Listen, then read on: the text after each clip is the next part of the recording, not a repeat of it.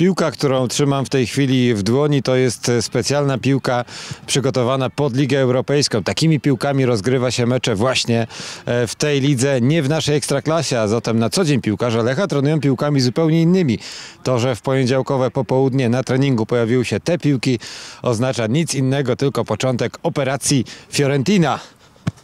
Oddam może piłkę, proszę Państwa, już e, w czwartek o godzinie 19 we Florencji. Legra z Fiorentiną. Wyjazd na ten mecz, właściwie wylot jest przewidziany na e, środowy poranek. Od poniedziałku e, już trwają zajęcia, które przygotowują poznaniaków do kolejnego starcia w europejskich pucharach.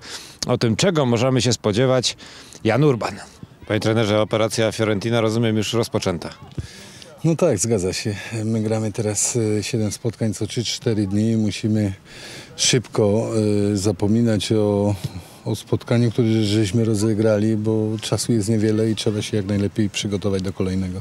A przed Wami mecz ze znakomitą drużyną Gwiazdy Europejskiej Piłki. Chyba nie musi Pan szczególnie motywować piłkarzy. Y, Na pewno nie. Oprócz tego, y, że w grupie można napotkać rzeczywiście bardzo dobre zespoły y, z tej wyższej półki europejskiej. Y, To na pewno jest to niesamowite doświadczenie dla każdego zawodnika, który ma okazję grać w takich spotkaniach. Y, To nie jest y, to samo, co, co mecze ligowe. Doświadczenie na tym poziomie nie jest łatwo zdobyć, bo trzeba grać w tych europejskich y, pucharach. My mamy tą okazję, mam nadzieję, że każdy z zawodników, którzy, którzy, wystąpią w tych spotkaniach, ją wykorzystają. Może też trener podzielić się swoim doświadczeniem.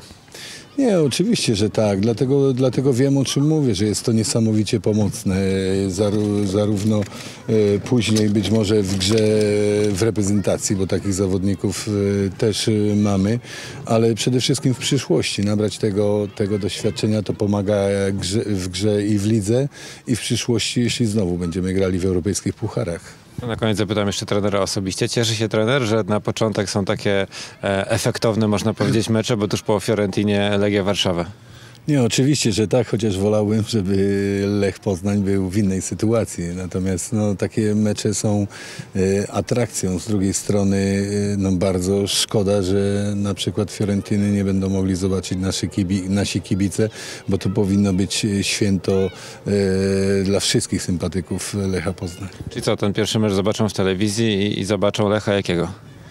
No, mam nadzieję, że dobrego Lecha grającego dobrą piłkę, Lecha przede wszystkim odrodzonego, e, Lecha, który, na którego e, będzie można z przyjemnością patrzeć, bo nie ukrywam, że to pierwsze spotkanie pod moją wodzą e, nie wyszło nam najlepiej, chociaż i tak uważam, że należą się słowa uznania drużynie, bo wyjść w takiej sytuacji z wyniku 0-2 na własnym boisku jednak byli w stanie uratować jeden punkt.